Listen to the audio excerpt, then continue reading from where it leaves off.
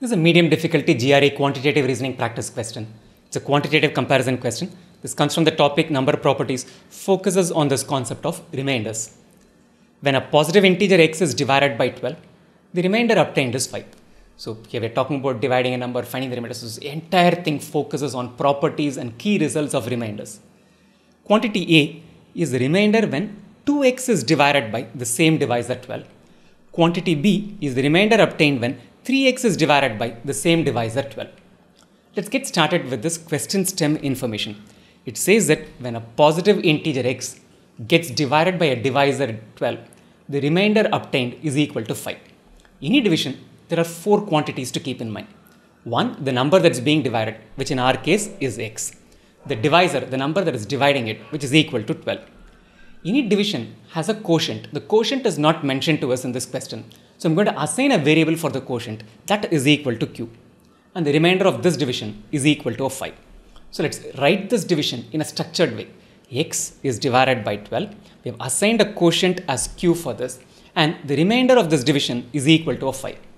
So x can therefore be expressed as 12q plus 5. The divisor times quotient plus the remainder. Quantity A talks about the remainder when some number is divided by the same 12. Let's say that is quantity 1. That quantity 1 is 2x.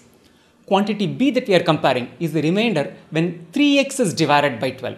So let's say quantity 2 is equal to 3x. So let's express both these quantities 2x and 3x in terms of this particular expression. So 2x is going to be 2 times of instead of x, let's replace it with 12q plus 5. This will translate to 24q plus a 10. 3x is equal to the same way 3 times 12q plus 5. 3 times 12q is a 36q and 3 times 5 is equal to 15. So we have got the numbers that are going to be divided in quantity A and quantity B as 24q plus 10 and 36q plus 15. Let's consolidate up till this point in a printed form and then obtain the remainders of dividing each of these numbers by a 12 in a subsequent slide. Consolidating up till this point, the question stem, we assigned a quotient q. So x by 12 is equal to q with the remainder of 5. So x is equal to 12q plus 5. Therefore, quantity 1, 2x is a 24q plus 10. Quantity 2, 3x is equal to 36q plus. Let's go into finding out the value, evaluate quantity a. The remainder when 2x is divided by 12. We just deduce the value of 2x to be equal to a 24q plus 10. So we'll have to find out the remainder when 24q plus 10 is divided by 12.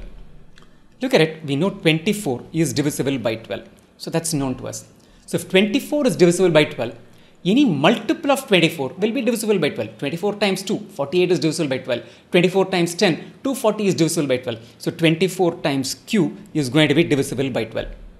So if 24q is divisible by 12, then we can say that the remainder for this part of the division, 24q plus 10 divided by 12, we are finding out the remainder for this part first, 24q by 12, the remainder is equal to 0. So only thing that's left to compute the remainder when 24q plus 10 is divided by 12 is to find out the remainder, we'll have to compute the remainder when 10 is divided by 12. When 10 is divided by 12, the remainder is equal to 10. So 24q by 12, remainder 0. 10 divided by 12, the remainder is 10. So 24q plus 10 when it is divided by 12, the final remainder is equal to 10. So the value of quantity A is equal to 10. The remainder when 24q plus 10 is divided by 12 is a 10. Consolidate quantity A in a printed form before we evaluate the remainder for quantity B. Consolidate it here. We are finding out the remainder when 2x is divided by 12. 2x is nothing but 24q plus 10. We are finding out the remainder when this is divided by 12. We know 24 is divisible by 12. So any multiple of 24, 24q will be divisible by 12. So the remainder when 24q is divided by 12 is 0 because if a number is perfectly divisible, 8 is divisible by 4, the remainder of this division is 0. 24q is divisible by 12, the remainder of that division is equal to 0. So all that is left to find out the remainder when 24q plus 10 is divided by 12 is finding out the remainder when 10 is divided by 12. 10 divided by 12, the remainder is 10. So quantity A is 10. Pause the video here, find out the quantity for find out the value, evaluate quantity B, and then compare it and come back to the video to check out whether our methods match. Have you done that? Let's move on to evaluating quantity B. We're finding out the remainder when 3x is divided by 12. 3x we have written it as 36q plus 15. So 36q plus 15 divided by 12. Exactly the same process. 36 is divisible by 12.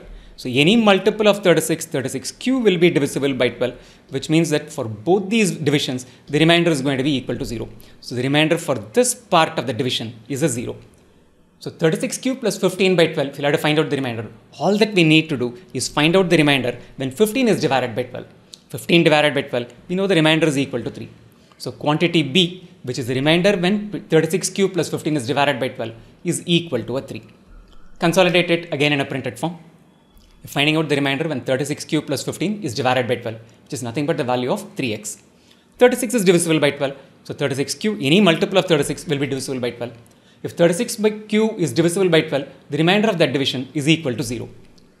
So this portion, the remainder is 0. So if we'll have to find out the remainder for this entire value expression being divisible by 12. All that we need to do is find out the remainder when the balance 15 is divided by 12. 15 by 12, we know the remainder is a 3. So quantity B is 3. Quantity A we know is 10. Quantity B is a 3. So quantity A is greater than quantity B. Choice A is the answer. Before you leave, I want you to do two things. One, sign up as a trial user at wzko.in slash quant. So now the most comprehensive and most affordable online quant course for GRE. Get started with the free lessons in statistics, averages, and data interpretation. Build momentum to your GRE preparation. And then you can pay up and unlock the remaining topics which are behind the paywall. And second thing I want you to do is subscribe to this YouTube channel, youtube.com slash WizakoGRE and turn on notifications so you get notified every time we upload a new video. Until next time, stay healthy, stay safe, and stay motivated.